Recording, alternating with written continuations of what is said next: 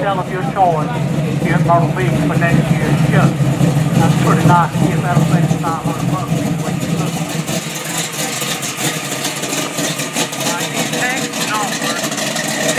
I'm going to call out.